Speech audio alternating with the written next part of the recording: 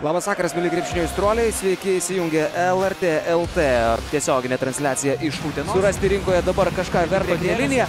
Na, bet grįžtam į tai, kas vyksta čia, o vyksta čia Icevičius pašokdina varžovą, susikūrė progą metimui ir nieko nebegalėjo. Turėjo Martinas Gecevičius, net jeigu ir gautų šį kamulį, greitasis puolimas ir pieno žvaigždžių komanda. Atvyko į Lietuvą Markelas Johnsonas, koks gražus, koks gražus suokalbis. Laisviems pelnyti taškus, geras žaidimas čia ir iš viršaus.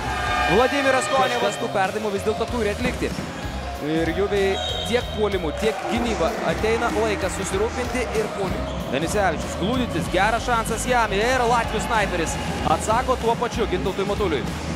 Glūdintis uh, jį pasiema. Skučas! Kokį metimą komandai. Downsas. Iš trijų taškų zonos taikliai atakuoja Kristapas Glūdytis ir vėl 4 sekundės. Atrodo, kad perlaikė kamuolį Ariktonas, meta iš trijų taškų zonos ir tai, ką buvo sugalvojęs, vis dėlto įgyvendino. Šulskis, greitasis šeimininkų išpuolis ir po labai ilgos pertraukos Skučas. Į baudos aikštelę ir Tomas Lekūnas. Ne visiškai, sako Kristapas Glūdytis žvaigždėms, paliekant gal šiek tiek ir daugiau erdvės uh, metikams. Galimybė greitame puolime, Šulskis smaigalyje.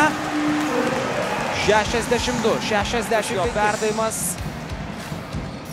O čia, o čia Ignas Vaitkus. Guščikui prieš Guščiką du varžovai. Danisevičius iš trijų taškų. Zonos! Prieš uh, varžovų perimetro krepšininkus Žygimantas Kučas. Du taškai ir pražaga. Dabar prieš Kupšą į baudos aikštelę iš kitos krepšio pusės. Šeimininkams priešingai. Šulskis gali išvesti priekį ir išveda.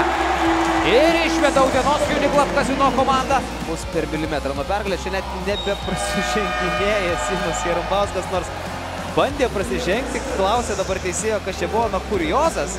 Galim dar pažiūrėti situacijas pakartoti.